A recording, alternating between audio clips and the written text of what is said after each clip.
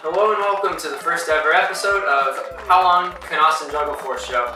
With me today is Oscar award-winning actor Francois Swan. Uh, thanks for having, thanks for coming.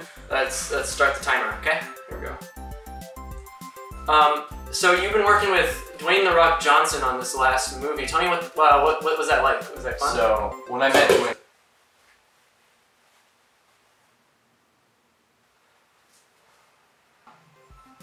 Tune in next week where my guest will be my dad.